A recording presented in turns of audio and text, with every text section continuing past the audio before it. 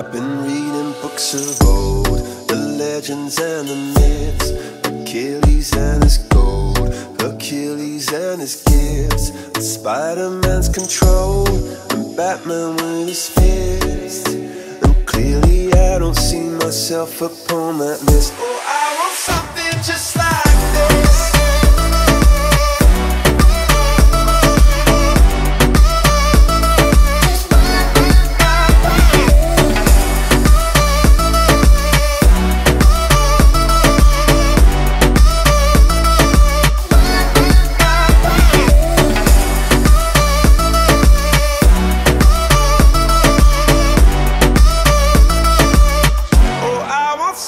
I want something just like this.